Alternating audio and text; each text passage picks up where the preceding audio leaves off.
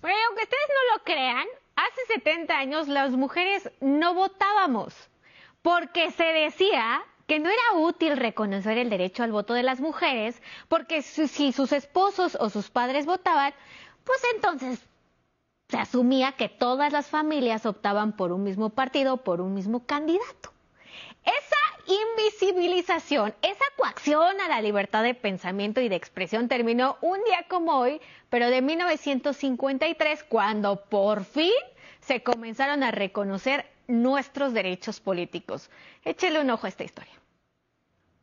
El derecho al voto de las mujeres mexicanas fue un logro histórico que requirió la lucha de incontables valientes decididas a construir una nación donde su voz fuera escuchada. El movimiento feminista hizo mancuerna con la Revolución Mexicana, periodo donde las sufragistas del país florecieron como pioneras en una ardua conquista que hoy celebra 70 años.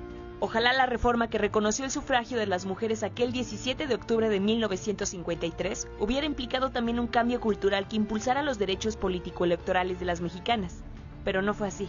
Les venimos a entregar este artículo que tenemos para dar y repartir. Aquí se los voy a dejar.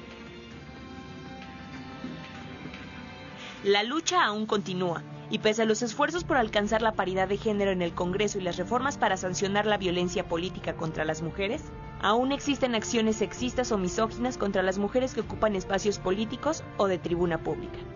Lamentablemente, usadas, usadas sí, por el tema de género, porque sus maridos no pudieron ser diputados y las pusieron a ustedes. Tenemos que transitar en este Congreso. Es lo malo de sacar a las personas de la cocina y darles una curul. Con información de Liliana Polo, 11 Noticias Digitales.